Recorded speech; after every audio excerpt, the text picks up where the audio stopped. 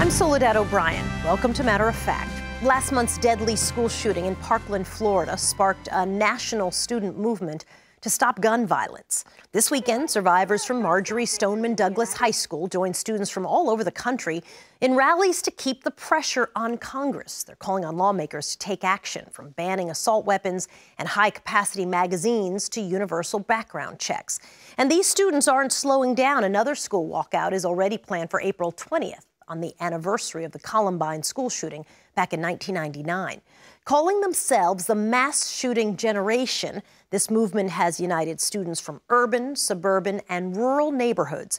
Imani Holt is a junior at Baltimore's Excel Academy in Maryland, and Daniel Meakem is a senior at McLean High School in Virginia. It's so nice to have both of you with me. Okay. You guys go to school not too far from each other, so you're about 12 miles outside of Washington, D.C., and you're about uh, 38 miles out of Washington, D.C. So you're, you're kind of on opposite sides, but you're, you're not you know, super distant from each other.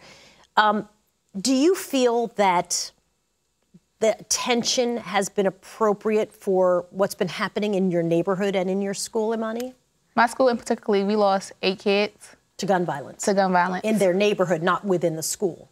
Yeah, in their neighborhood, but it's like it affects the school because these are kids that we go to school with. We see them every day, so I feel like it's bringing a little bit of tension now, but yeah. at the time, the newsroom might come to our school be like, you probably get 15 seconds on camera, but it wasn't like really a big conversation about it. So it's not like a mass shooting. It's just like because they they passed away in their neighborhoods.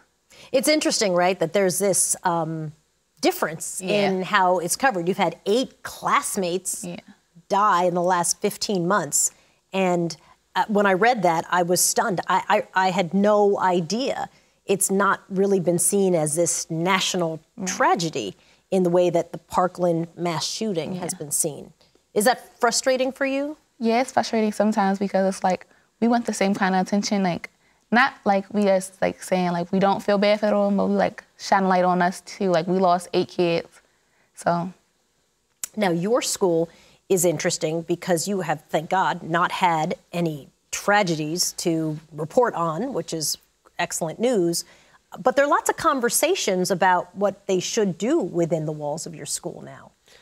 Yeah, I think there was a big um, shift in, in kind of the overall level of tension at the school after this Parkland shooting because of the fact that the school in Parkland was kind of a similar school to us, and we realized that we're not really any safer than they were. Um, and that's kind of led a lot of people to become a lot more nervous about the violence in schools than they had been in the past. Are you nervous about it? What I'm more nervous about is the fact that this is going to continue around the country. So uh, whether or not I'm personally affected by it, there are going to continue to be people who are affected by these shootings um, unless something is done about it. So let's talk a little bit about what the something to be done is. What would be the recommendations that, that you would have? Like we should have better gun laws. 18 year olds in certain states can have guns, can have access to guns. I feel like that's just the dumbest law ever because why should why what does an 18 year old need for for a gun?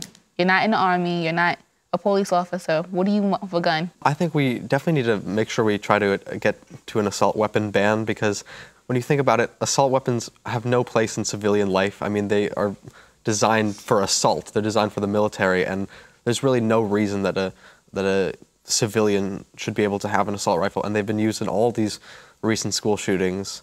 Are you hopeful? I mean, when we're having this conversation five years from now, again, sitting right here, how old will you guys be? You're 18 now? Yeah. You're 18? Mm-hmm.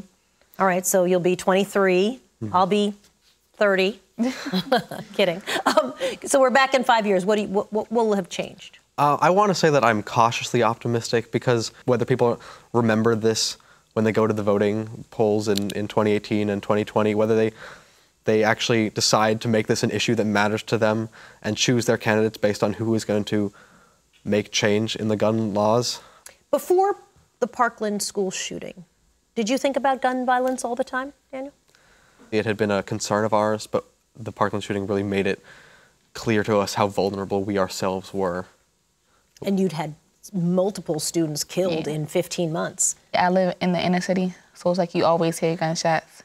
You always watch somebody passing away. Like, oh, I hope that's not me next. If I'm coming home late, see a group of guys want to cross the other side of the street, physically in mind, they might have guns. So it's fair to say it's just constantly on your mind. Yeah, it's constantly. Imani Holt and Daniel Meakem, thank you so much for joining us to, to talk about this issue. Really appreciate it.